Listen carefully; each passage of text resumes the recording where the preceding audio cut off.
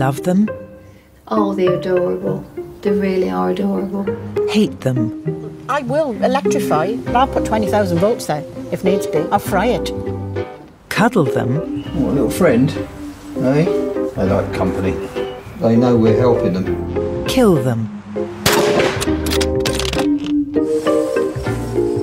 33,000 urban foxes in Britain. They're hungry.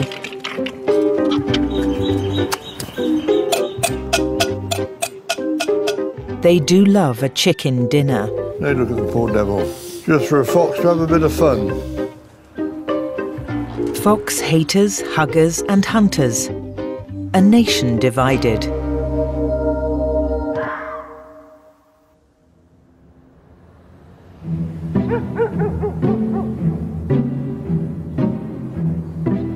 Every night, as the evening draws down, a little dance begins in suburban Britain.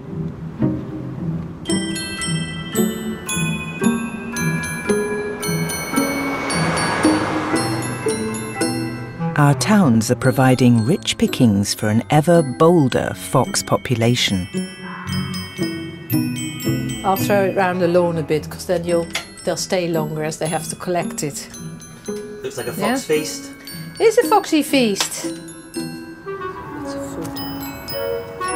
quite a lot of food going out there, Louise. Not really, not for four or five foxes. Foxes started colonising the newly built suburbs around our cities in the 1930s. You can see why. Others have a very different sort of evening planned. Tim's been a pest controller for the last 14 years. That's supposed to be like a rabbit squealing or an animal in distress, which makes the fox then come in a bit closer. Um, this one's a bullet that's been adapted to uh, make a fox call. An hour later, Louise's house. They're on the path too. 10 o'clock with Tim. Big gun, Tim. Yeah, it's nice and light. It's a .223 calibre.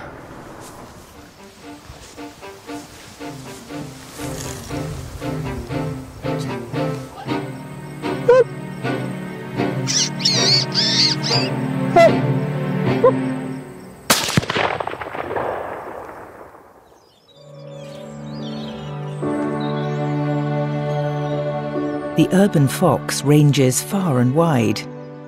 He does love to leave his mark. It's the smell. It's bad. Oh, God. I could ask you to put your nose into my bin there, but I think it might result in your, your dinner coming back up. Oh, it's appalling. Oh, I've never smelt anything like it. I'm Trying to get into your cat. My cat flap, yeah, the broke. It's broken the cat flap. Janet's neighbour, Crystal. I tried to get through the cat flap. It's here. And the next door neighbour as well. I love my garden because it's my stress outlet. You know, it's sheer enjoyment to see what I've done over the years. Opening the front door in the morning and smelling it, and then having to kind of come down, you know, with a shovel, wrapping it up in paper. How do you think I feel about it? So whereabouts does it go? Well, I can tell you where it shits every day. As you can see, by the state of the grass. And it's just gone on like this since last August. I went online and Googled answers, and I got some wonderful answers from America. Get yourself a double barreled shotgun, honey, and blow it to smithereens. I mean, I will, I will electrify. I'll put 20,000 volts there if needs be. I'll fry it. It's war. Yeah, no, it's war. It's a war between the fox and me. War needs weapons, and war needs waiting. So, So you're going to sit here tonight yes, with your pole. with my pole, and if I can hit it unconscious, I will then put it in a dustbin, I think, and drive it down to the nearest tip. This is what it's driven you to then, eh? Oh, I'm, um, yes. At the end of my tether, and never cross a Welsh woman when she's at the end of her tether.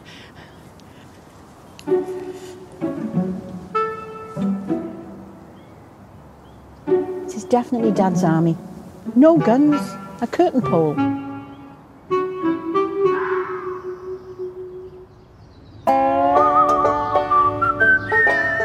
This is Brookside, suburban North London, a street in a ferment about foxes.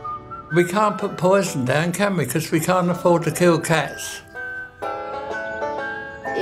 It came in just from next door because we saw them in the winter. Now the kids won't go in the garden on their own. Yeah, other people up and down the road say they see them as well. Well, we used to have our rabbit down on the decking, and then the foxes came. We were a little bit um, worried, thinking that the, the rabbit might have a heart attack or something like that. Hundreds of foxes have invaded this street over the past few years. She started shouting, Fox, Fox, in Polish language, Lis, Lis. This is The rabbit's grave, where Tommy and JJ's buried. They managed to get out and the fox got them. I hate them. An ever bolder fox population has sparked newspaper headlines about foxes even coming into people's houses. Well, hello, Foxy. I first saw him behind that white bench there.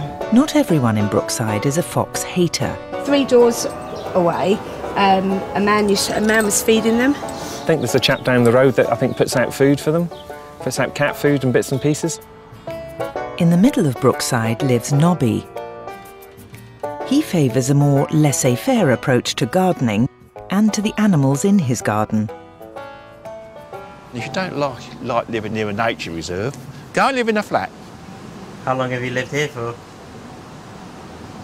In, in New Barnet? Since 1945. Do you want to show me where the fox comes from? I don't know where our den is, but I'll show you where she comes through. So you've got to do a bit of climbing. Right. Over there, under that blue thing. How long has she been coming for? Five year now. I just like animals. You name it, I've had it, you know. Used to collect butterflies and stuff like that, and birds' eggs, and all my life is all I've done. And work. I, I mean, I do the lottery occasionally, and if I ever won millions, I'd just, just buy as much land as I could and put a big fence around it and turn it into nature reserve and keep everybody out. 20 houses downwind of Nobby lives Sophia. Due to the recent increase in fox numbers, she's had to take extreme measures in order to protect her bantam hens. If a fox killed my chickens, I'd be absolutely devastated. I would, I don't know what I'd do, I'd probably start shooting them myself. What kind of things have you tried then in order So- to deter the fox? I've tried human hair, obviously the barbed wire, stop them jumping on top. I've got this um, pack called Fox Solutions and the alarm. Bit of a random request. My mum went to the hairdresser, was like, can I have a bag of hair? that is the hair. Have a look. Um, I've wedged it like in certain places and foxes have pulled it out. I think there is something about the smell that, I don't know whether it angers them or they like it or not, something about the territory. Um, on the forum, I've heard that a male urinating around the garden is another really good deterrent, again, because of the territory thing. But Have you tried that? no, my brother wasn't up for it, and my dad was like, don't be silly. Evening brings out Brookside's other population. This is Fox for. Come on in, girl. Come on in. Come and have your din din. Come on in. Nice dinner. Come on. Come quick. You must talk to animals, otherwise they don't they don't respond to you.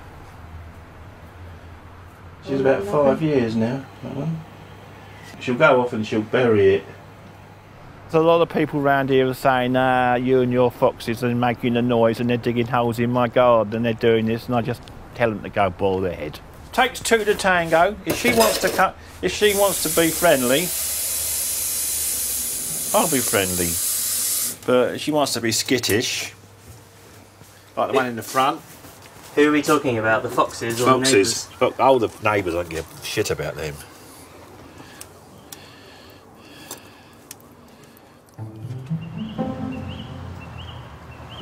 Foxes can live for up to 14 years, but most urban foxes live only two years due to traffic accidents. Give that a bang, and that's it makes him come.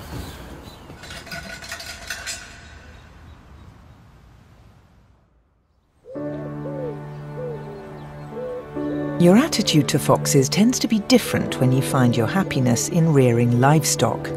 How long have you been here for? 14 years now. It's a little bit of heaven. It's the best bit of heaven. It's small, it's handy, it's close, and nobody knows it's here.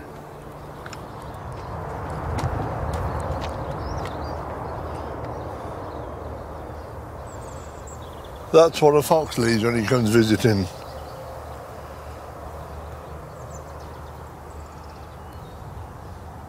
And he didn't take any. He killed 36. If he was hungry and he killed one, I'd say good luck to you. But he killed 36 and never took one. So that is just a pure killer. A flock like this costs around £300. It's money which Tony can ill afford. That's what you see when you come in first thing in the morning.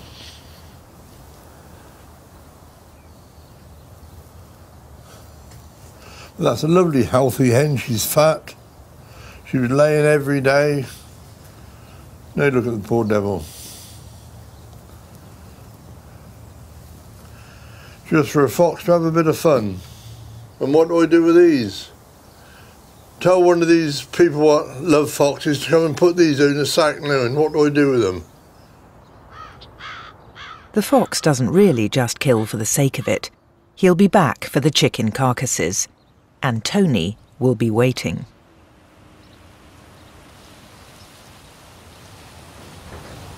He'll pay. It may take time, but he will pay.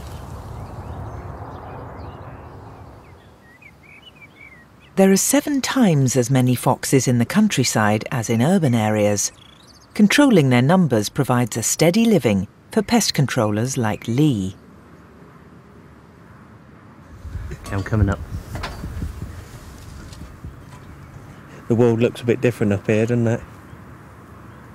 I'm in my 17th year now in, in pest control. So, um, but I've always been into countryside ever since I left school at 16. You don't need a license to kill a fox, but you will need someone with a gun license to kill it humanely. With fox control, you're literally you're just controlling foxes. You're not out to, to, you know, make them extinct. That is not the point of it. It's just about keeping a balance. I mean, the problem being now when you're getting into the cities and that, you're getting people that are in the cities trying to do country things like bringing chickens into their garden, and and that's the problem now. And then you get people that feed feed uh, foxes, which obviously breed uh, bring them closer, and obviously they get tame. And then you're getting this problem now where you know they're coming into people's houses. You know that's not a natural thing. You'd never ever get that happen in the countryside.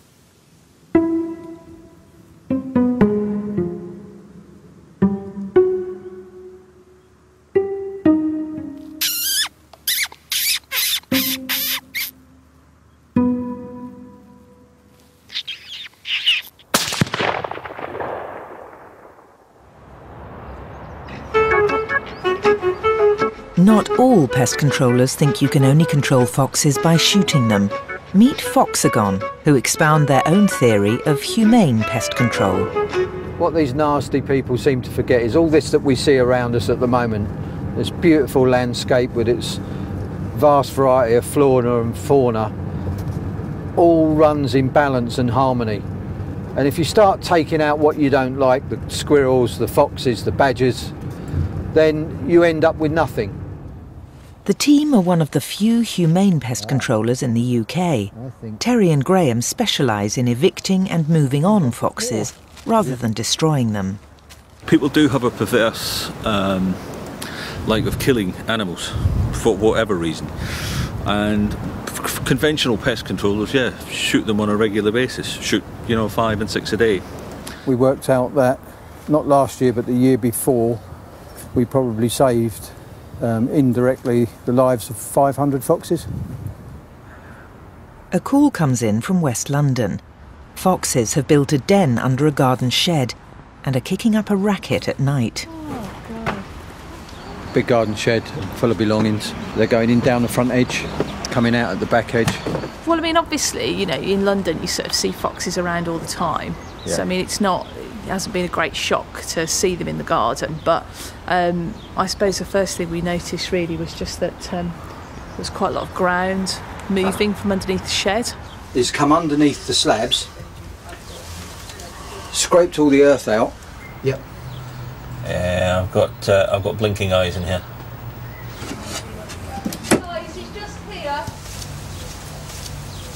That may have been one trying to come back in and gone out again. What, just now? Yeah.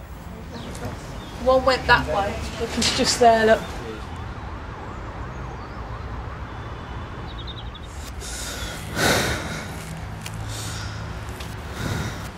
A fox tends to have about five cubs a season. Terry and Graham's approach is to encourage them to move somewhere where they're not being a nuisance.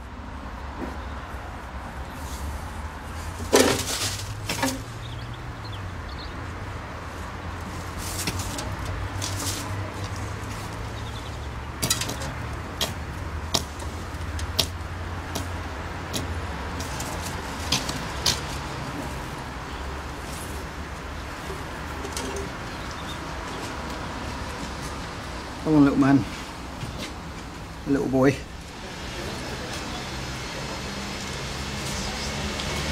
Poor thing. I'll give them um, flea treatment.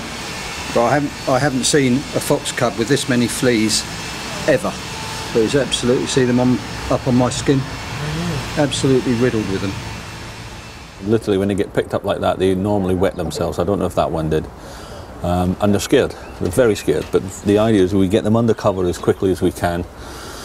When they get into darkness, they become a lot more relaxed. They'll calm down and they'll just go and lie in a corner. All the pest controller will do is trap and shoot, um, and won't even fox-proof the shed again, which means five to seven days in the London area normally. You're looking at the other foxes starting to encroach in. So it's not resolving people's problems. And although it hurts me to evict foxes, it is the lesser of like the evils, as it were. Each vixen, when she gets pregnant, will have four or five places like this to go to, and she will quite simply move her cubs on. So I've just given it a small dose of that. Terry and Graham have blocked off the shed. Their hope is the mother will collect the cub and take it to a more remote den. As soon as we're finished, we're going to release it back in the garden. It will probably run back up the back of the shed for now, um, and then start calling again tonight. You think it's been abandoned then? We're not sure. No way of knowing at this stage. Hopefully not. Um, but as with all the things we do, um, as we go, we'll find out what's happening. We've got to crack on. If this cub's mother doesn't come back for it over the next couple of nights, the team will arrange for the abandoned cub to be rescued.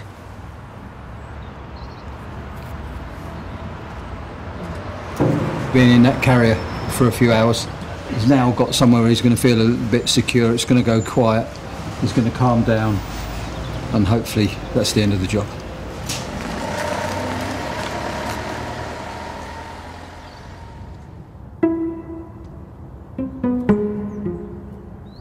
Janet's nighttime vigils have proved unsuccessful.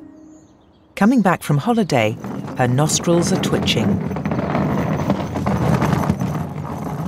I suppose I'd better go and check and see what the little darlings have left for me. What are you expecting, Janet? Oh, a lot. They, you know, just because I've been on holiday, they won't have been. Oh. Don't, don't step in it. Three, four. I've tried to block every, you know, access point. Oh. If the wind's in the right direction, uh, I think I said to you once before, you can open the front door, and if the wind is blowing, yeah, in this direction, it just makes your eyes water.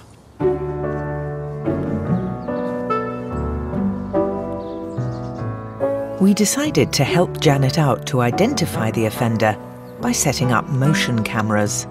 I'm just hoping that when you put the motion cameras up, maybe we can find out it's getting in.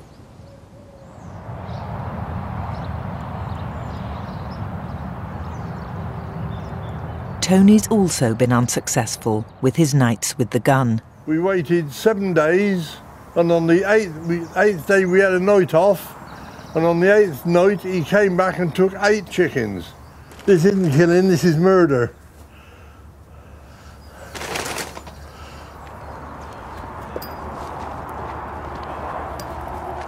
He's decided to burn his oppressor's food. What a waste, isn't it? Just through that loving little fox wanted something to kill. He wanted some sport one night.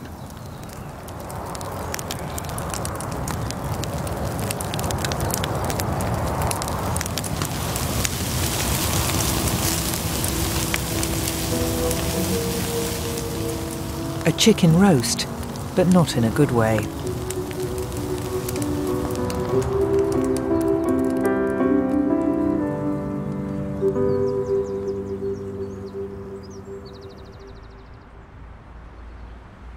Fox hunters like Tim increasingly have to follow foxes into urban gardens. So what gun's this? Uh, it's a .22 rimfire. Um, we use this in urban situations simply because it's dead silent. We should see some foxes tonight. This guy's had a serious problem. They killed his chickens, they killed his rabbits, they've killed all of his animals, they've ripped the cages to bits. You have to kill a wild animal like a fox humanely. That means either trapping and putting it to sleep or calling in someone with a gun license, like Tim. I am an animal lover.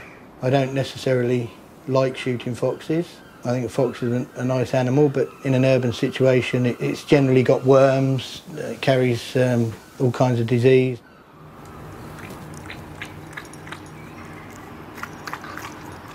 Yeah, it's only to um, slow the foxes down in case they come out and they run across from one side to the other, just so we get them, so their heads down, so we get a correct shot on them. We actually shot six here one evening and four the next. Ten foxes in two days. We've shot threes and fours and fives since then. But um, it's one of those places they just keep coming.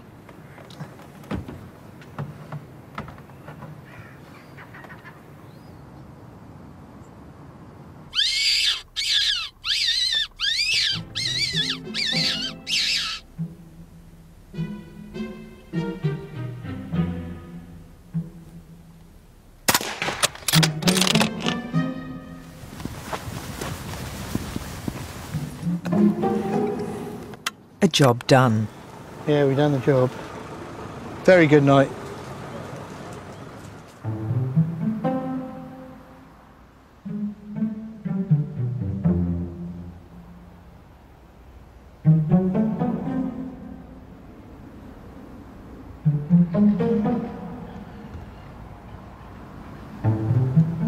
Urban foxes often live off a diet of food scavenged from dustbins and discarded takeaways.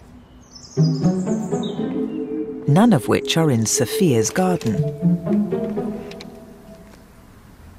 I didn't know whether it was a happy cluck or a scared cluck. Usually they cluck a lot when they lay an egg. They were scared, so I ran to the window and the fox was just like sitting there looking at them. Although there are already an abundance of foxes, I think by feeding them makes them less scared of humans. How do you think you would feel if you lived next door to Nobby? Um, I think I'd call the council. Um, I, yeah, I definitely do that. Yeah, I'd be upset. I think. If you're going to have silly enough to have chickens and you're not going to keep them well locked in or what have you, you, you deserve something to take them.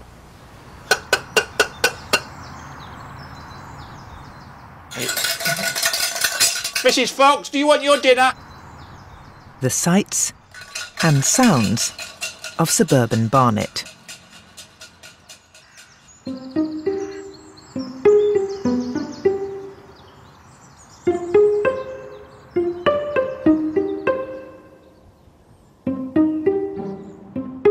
Suburban Fox provides hours of harmless entertainment for thousands of suburbanites. Oh, they're adorable. They really are adorable. And now anybody can hurt them, I'll never know.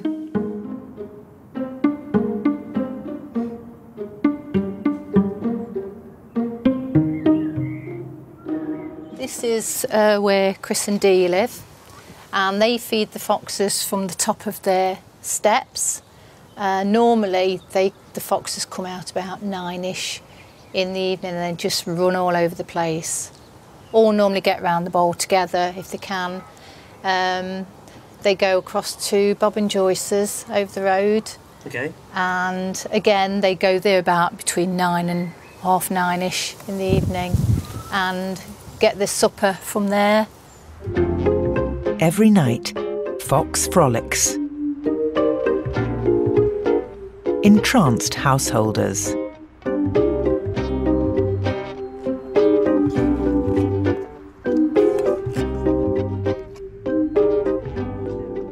They each have their own little personalities. You know, there's there's the, the one who he sits at the back and waits till the other ones are finished because he's a bit scaredy cat, isn't he really? Mm, scaredy fox. And the, you can tell the other one is a bit more male alpha, and he's sort of like, I'm I'm having that, get out of the way. Uh, I just think I just think uh, just animals lovely. are They're just fascinating. Animals What- just need you can't- feeding like anyone. Yeah, you can't ask them any questions. You can only learn from watching what they're doing. At number two, Fox TV.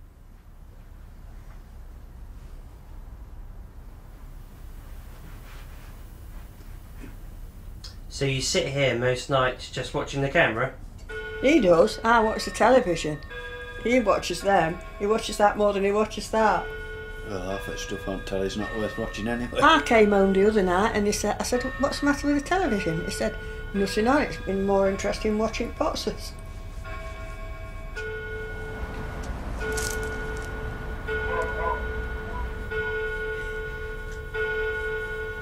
Come on, babies, let's have you.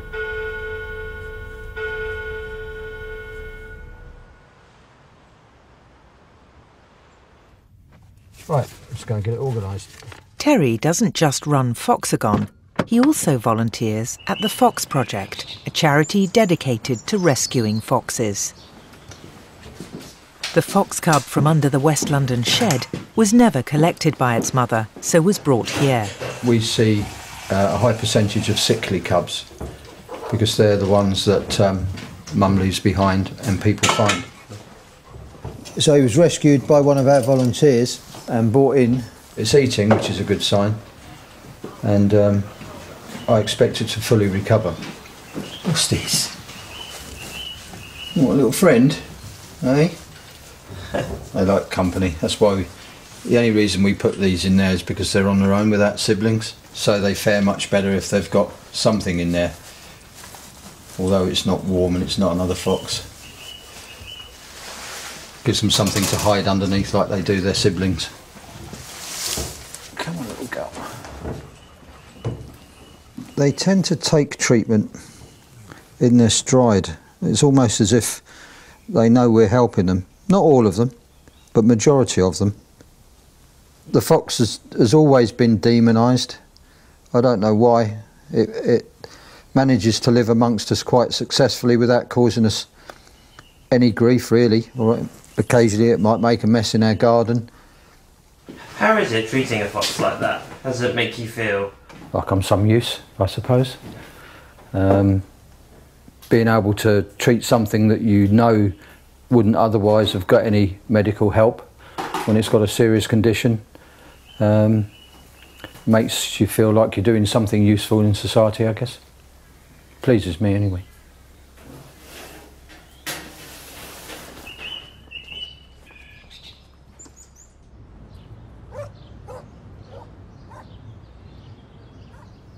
A garden under surveillance. Just don't get a whiff. He's done that last night. You can smell it as you come down the stairs. God, I don't want to spend the rest of my life doing this. We got some um, footage to show you. We'll go and have a look at it in a minute, then, Please. shall we? We wound the cameras back to show Janet the footage.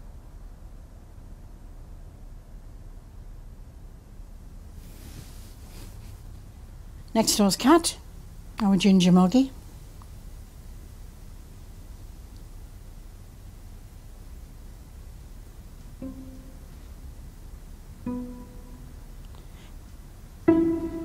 Is he going? It's the cat!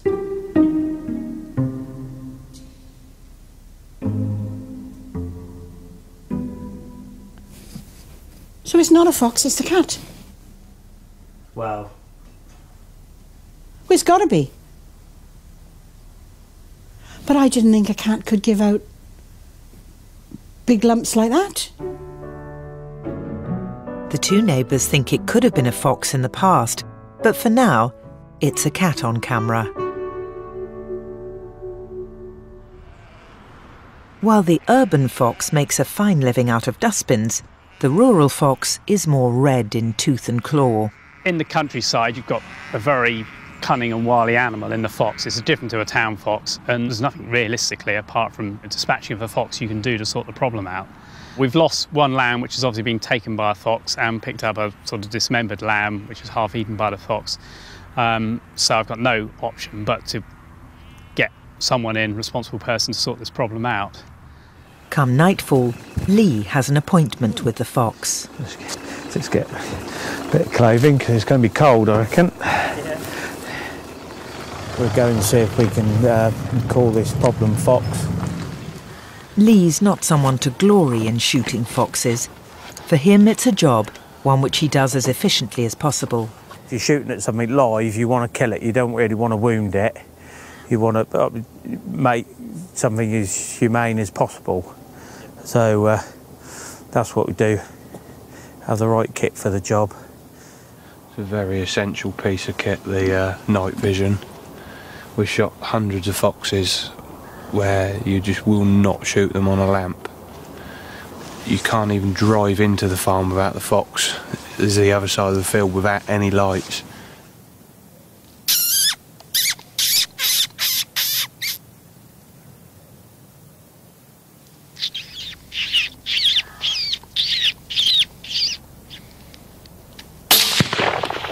And in the last 10 years, which I was really doing it serious, I probably shot 2,000, 2,300, something like that, in the last 10 years. Good shot, very good shot. I mean, Lee, Lee's exceptional with a rifle. That must have been looking straight straight at Lee. That must have been he shot sort of straight in the neck, sort of face on. We'll take this one back and see if we can um, spot a few more. I expect we're going to see a few tonight. Hopefully, get the one that keeps killing our lambs. He's just texted us about half an hour ago to say that he's just checked the lambs before he go to bed and he's seen one out there. So hopefully he's not scared it and we'll uh, get it for him. It can cost up to £200 per fox kill, but it's not easy money for the hunter. It can take many hours of stalking through the night. This is the most important fox of all. This is uh, where we just seen a fox across here somewhere.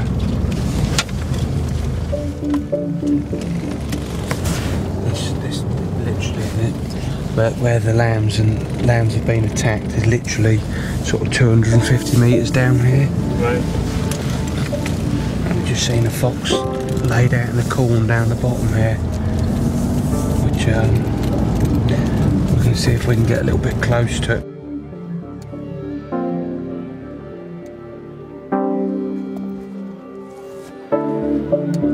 Half an hour later, the target is sighted.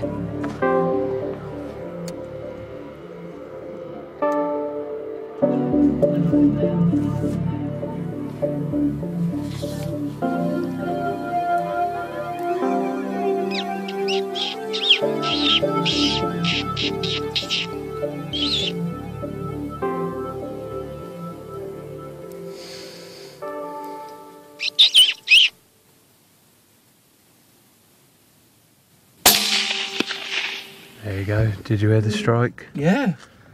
Brilliant. Well, could that be the problem one?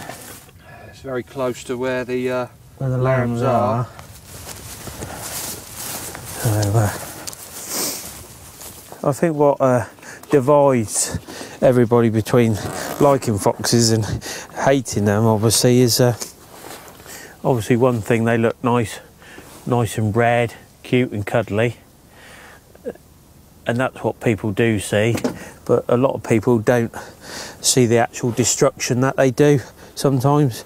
You know, it's only people that live in the countryside or, you know, well, and you know, people in London now are starting to have chickens and stuff like that, so they then realise what actual damage they do. Because if they went into a chicken pen and just took one chicken, it wouldn't be a problem, or less of a problem. There's a certain blood for blood justice in the night hunter. The dead fox laid on top of the lamb it slaughtered. Like the farmers like to stroke, basically to touch or see, makes them feel better. Knowing that Knowing it's dead, dead, basically.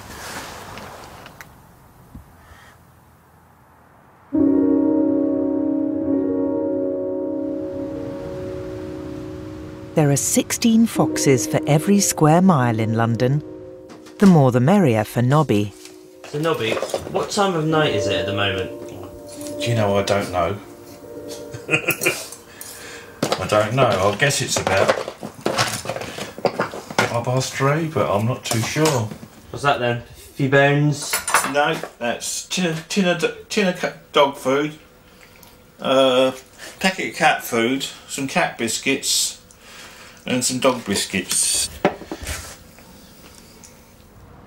For Nobby, the fox is a companion through the lonely nights. Yeah, I've always been a night owl. Always have, always have been. I'll be honest with you now. If I got up at nine o'clock in the morning or eight o'clock in the morning, I find the day's too long. Because there's there's not much I can do to fill the day in.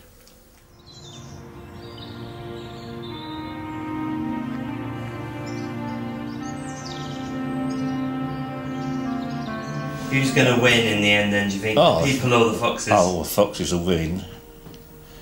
Hey man, what can they do about them? They can't shoot them. They can't poison them. They, you can't drive them off because more will come in, and they just have to live with them. I'm afraid.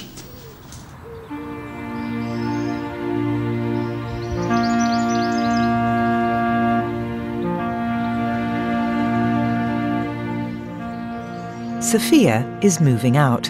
She won't miss Nobby's companions and their attentions.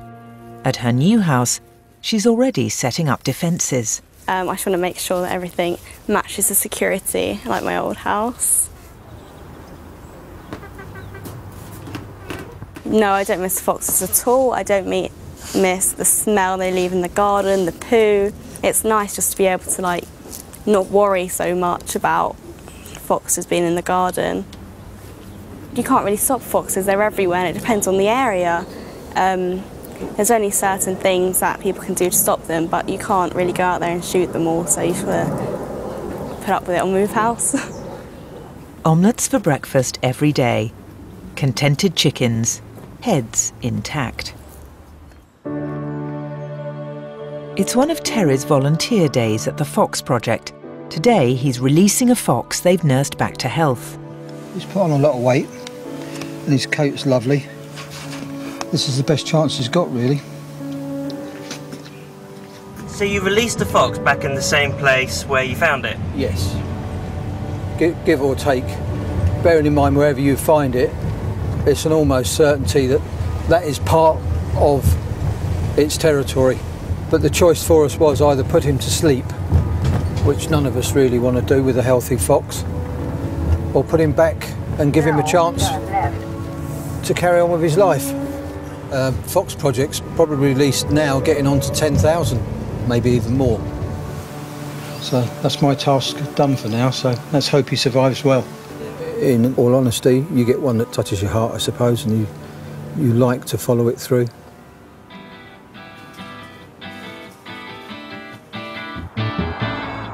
Good news for Tony. New chickens in the hen house. And a new security system. All this work just to keep him out. God, that's beautiful. They're good friends. And they're not fox food either. Not this lot. Every night, the dance continues. He's gone where that other one went. fox huggers, haters with the latest in deterrent technology. Take that. Vulpes vulpes, the red fox, our ever bolder suburban neighbour.